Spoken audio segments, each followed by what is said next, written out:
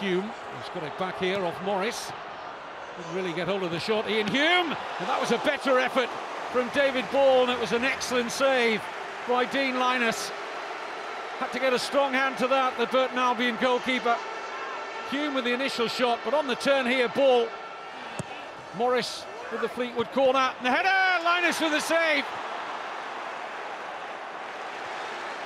Very nearly an opening goal there for Fleetwood Town. Edwards.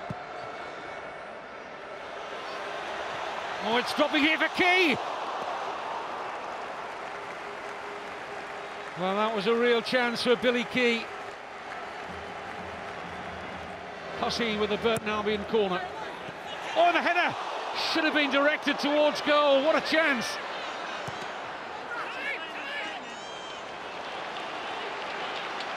Gathered in here by Josh Morris.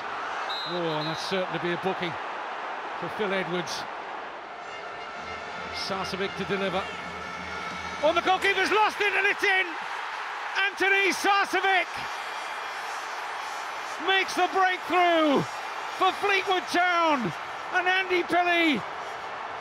So many dreams fulfilled. Another one maybe on the horizon now. The man who's produced more goals in the red and white of Fleetwood this season than anyone else. Sarcevic, but it's a horrible error from Dean Lyness, the goalkeeper. The referee is about to blow the full-time whistle to signal history for Fleetwood Town, and they are there. What a story! Quite remarkable.